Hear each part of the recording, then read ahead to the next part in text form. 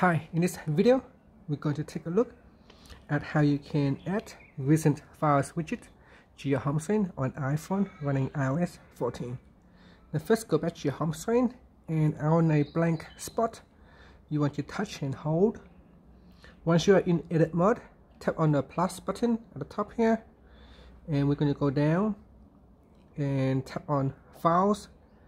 In the files category, you got Recents if you swipe across there is a larger widget so choose one of the widget that you like. So you can just drag it out to your home screen or you can tap on the add widget button.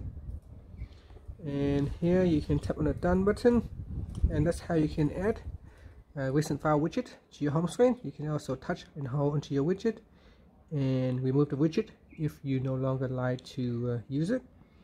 And this one here only show recent files.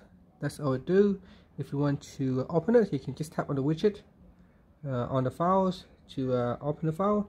And this basically just allow you to quickly access recent files that you have worked with your files uh, application. And that's it. I'm just going to remove the widget now. So touch and hold from the pop-up. Tap on remove widget.